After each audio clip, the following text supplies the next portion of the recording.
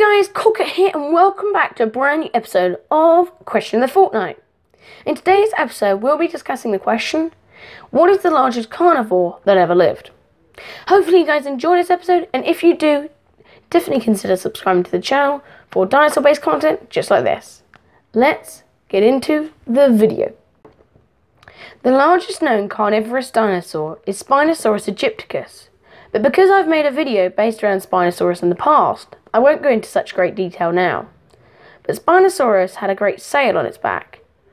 And this could have been for three reasons, which I explain in the Spinosaurus based video, which I'll link, leave a link to in the description.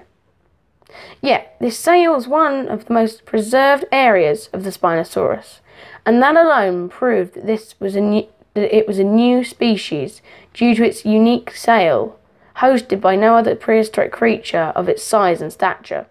Spinosaurus was quite difficult to complete a skeleton of because of a great story, which I'll also leave a link to in the description, which is a documentary.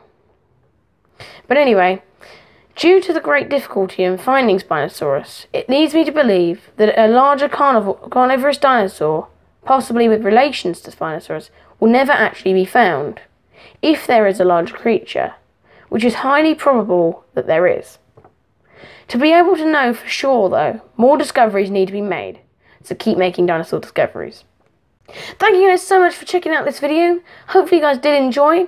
If you did, make sure to leave a like down below. Check out all the links in the description, also down below. And if you're new around here, definitely consider subscribing to the channel for dinosaur pay content, just like... Thank you guys so much for coming and checking out this video. Hopefully you guys did enjoy.